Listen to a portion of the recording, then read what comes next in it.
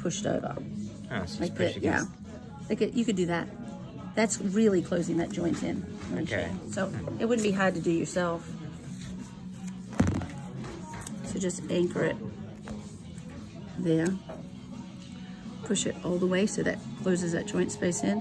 And then it's really high tension, Okay. just right there. And then you got nothing. So always no tension, high tension, no tension, because you don't want to irritate everything else. Okay. But that in itself might be all you need to kind of stop that. I could and try if you it. really clicking from the tip, make Yeah. this longer. You hmm. know, a lot of times people, if the tip, if you notice the tip part, like you're doing that, and it really bothers it, take it around from here. You may not want it around the tip of your finger, but that will even bring that tip over a little bit. Okay.